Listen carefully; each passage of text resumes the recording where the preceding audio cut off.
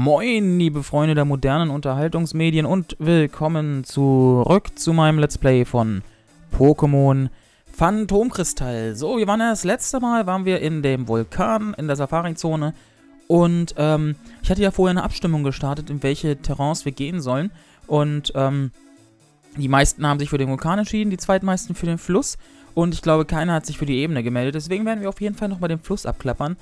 Allerdings, ähm, werde ich. Ja, Safari jetzt heute noch treten? Ja, will ich. Ähm.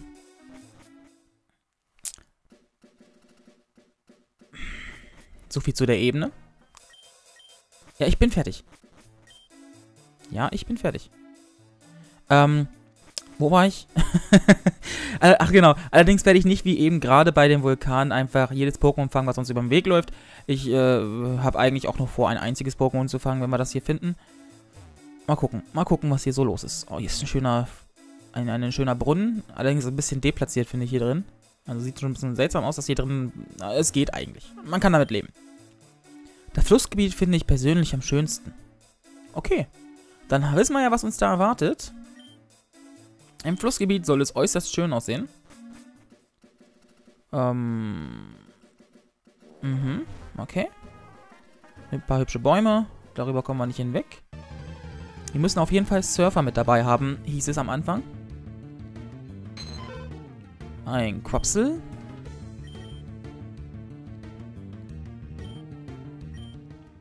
Das wollen wir nicht. Wobei auch Quapo ein ziemlich cooles Pokémon ist. Könnte man vielleicht doch nochmal überlegen. Ach ja. Oh. Mhm.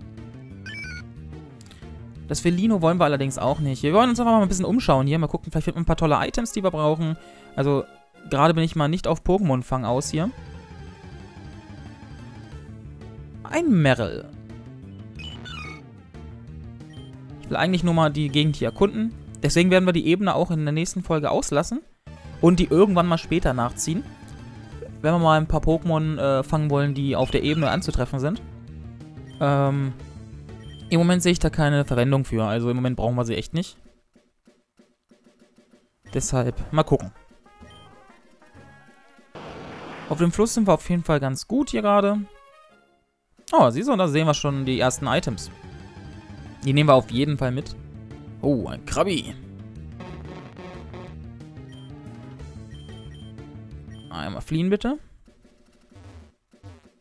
Wir haben Sprudel gefunden. Sprudel gab es schon seit der zweiten Generation. Da war doch dieser Automat oben in dem großen ähm, Einkaufszentrum. Äh, in der Stadt mit dem Funkturm da, ich, dem Radioturm. Ich weiß gerade nicht, wie sie heißt. Da war das erstmal Sprudel. Wobei, nein, gar nicht wahr. Sprudel gab es schon in der ersten Generation, weil man doch den, den, ähm, Polizisten dort was zu trinken geben musste, um in die mittlere Stadt da zu kommen, wo man Kikli und, äh, oder Nocturne gewinnen konnte. Ich glaube, das gab es tatsächlich, tatsächlich schon in der ersten Generation. Hm? Ist auch egal, was man denen gegeben hat, ob es Wasser war, ähm, ob es, ob es Limonade war oder ob es Sprudel war. Es war vollkommen egal. Die waren dann auf jeden Fall glücklich.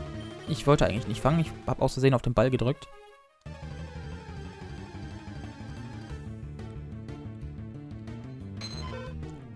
Ein Kopsel mal wieder.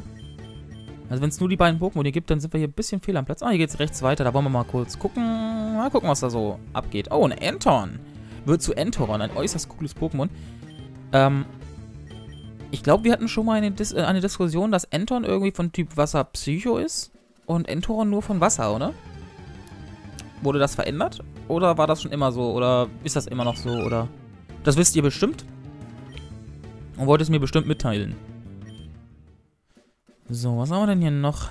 Oh, da ist ein schönes Item. Das grasen wir direkt ab. Ich möchte es verwenden. Dum, dum, dum.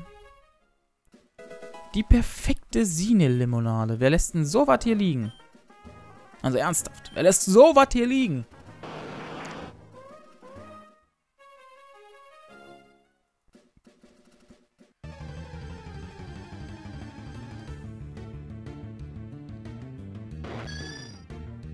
Janma.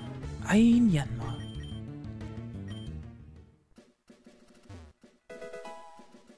Was ist denn eine Wildbeere? Äh, die kenne ich gar nicht. Was bringt die denn?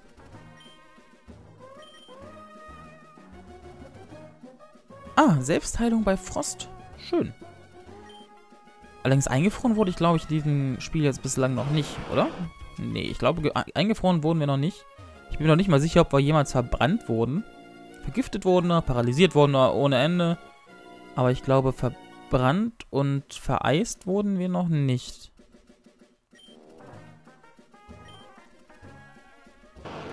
Also ja, man muss ja sagen, im Moment, äh, die Ebene, ja, schön aussehen tut sie automatisch durch das Wasser. Aber so besonders spannend finde ich die jetzt nicht, muss ich ja zugeben. Ich habe mir da jetzt ein bisschen mehr erhofft. Muss ich ja leider gestehen.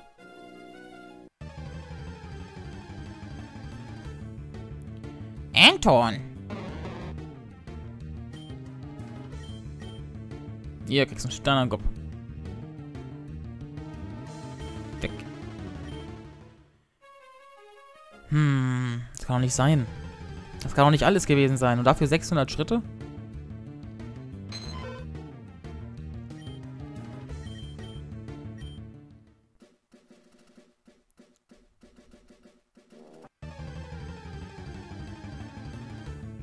Hm, Krabi. Also ich finde es ja echt schön, dass diese Variation dazugekommen ist und so weiter. Auch, dass die Idee mit diesen in drei Ebenen unterteilen, aber dann hätte man doch schon noch ein bisschen mehr rausmachen können, finde ich. Oh, hier geht's noch weiter. Super. Also man hätte schon irgendwie so, ein, so ein, am Ende des Ding wieder so ein Haus verstecken können oder sowas, wo man was Besonderes bekommt. Das wäre schon cool, aber im Moment... Es ist, es ist schon cool, muss man, muss man ja sagen. Also ich finde es echt nicht schlecht, aber mir fehlt so ein bisschen noch dieser letzte Kick. so, was finden wir denn hier? Noch ein Beefers. Äh, Bediza.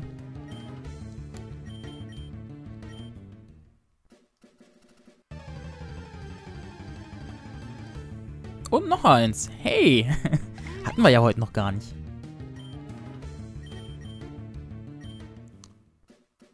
Hm.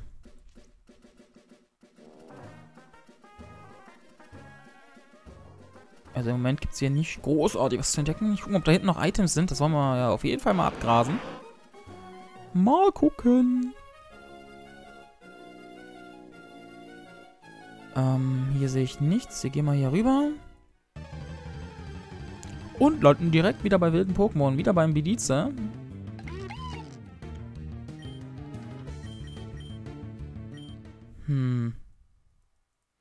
Ah, ein Item. Ein Wasserstein. Also die Steine gibt es wahrscheinlich am Ende der ganzen Ebenen immer. Wir haben einen Feuerstein gefunden, wir haben jetzt einen Wasserstein gefunden.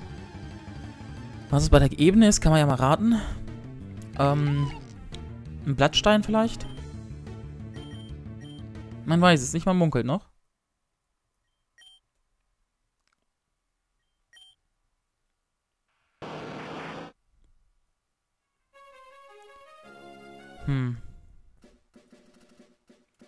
Hier noch nach einem... Ding Dong. Your Safari Game is over. Haben wir tatsächlich schon 600 Schritte verbraucht? Hast du es geschafft, das zu fangen, was du wolltest? Auf Wiedersehen. Äh, nein. Danke dennoch.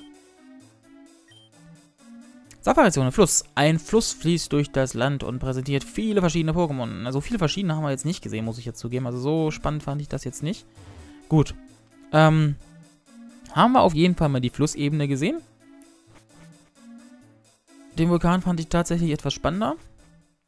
Wir rennen jetzt mal zurück zum Pokémon Center und dann, ähm, ja, beende ich die Aufnahme, denn ich möchte ja eigentlich nochmal gucken, welche Pokémon wir jetzt mittlerweile schon Namen gegeben haben und welchen Namen wir denen gegeben haben, damit ich nicht äh, doppelte Namen habe. Das wäre ein bisschen dämlich. Also, ähm, dann ist die Folge zwar etwas sehr kurz geraten, das tut mir auch furchtbar leid, aber ähm, wir sehen uns dann in der nächsten Folge wieder und dann geht's wieder zurück in die große Ebene und dann werden wir ein paar neue Abenteuer, äh, noch neue Abenteuer suchen, neue Abenteuer bestehen und äh, ja, mal gucken, was so auf uns zukommt, ne? Also wir sehen uns in der nächsten Folge. Bis dahin, man sieht sich. Tschö.